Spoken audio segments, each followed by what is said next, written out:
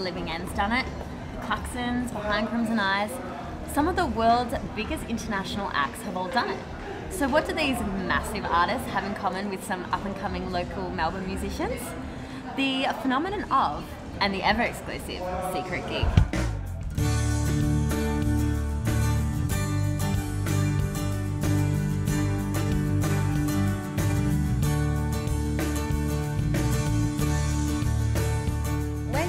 Yo Chung, the mastermind of the Streetlight Silhouette concert series, or gig series if you will. Tell us a little bit about the premise behind Streetlight Silhouette. Uh, Streetlight Silhouette is a series of concerts that will happen once a month. I pretty much organised it myself, but there's not much organisation to it because it's just going to be a bunch of musicians at a place somewhere in the Melbourne CBD grid or area um, playing songs acoustically. It's good to get a bunch of people along to see what's what it's all about, you know, and, and what's happening. And it's also a fresh platform for musicians to play their songs in a different way that they don't normally. Oh well, guys like me anyway, who have like a full band behind me normally when I play live.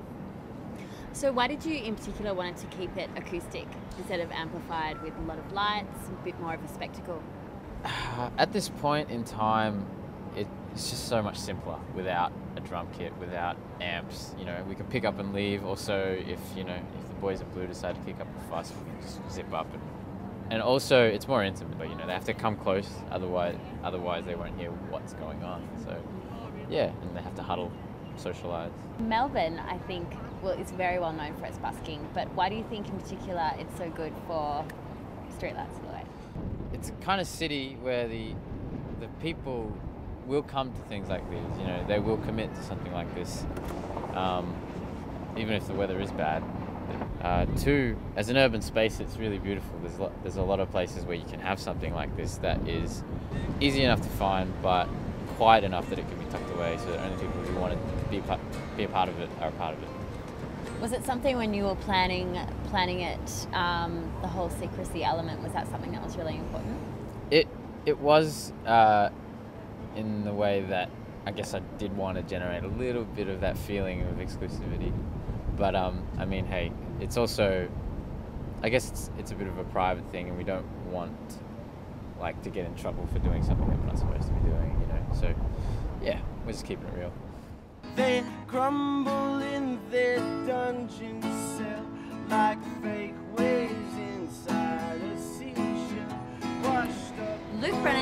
Christian Bazzari are the featured musicians for tonight's secret gig. How are you guys? Good, thank you very well. So, what are you hoping to get out of it as well from this evening, or from the general concert series? Um, oh, look, generally, I think uh, just a bit of footage would be nice to have. Mostly, I'm just, like I said, it's a really nice idea and, and uh, to enjoy the night, like a relaxed atmosphere, and, and be able to interact with an audience on that level that it is an intimate thing, whereas, you know, at bars it can get a bit, you know, detached because you're like elevated on that stage level. Um, There's a good So, communal yeah. aspect to this, Yeah. I think. yeah. Um, yeah, nice bit of fun. Everyone can be a part of it.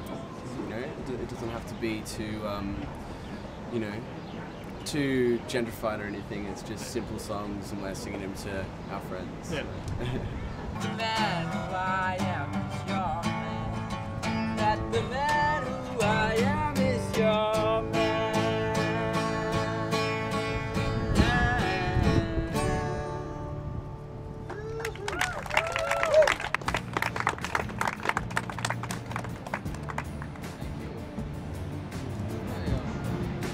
Thanks everyone for coming, eh? Yeah. Appreciate it.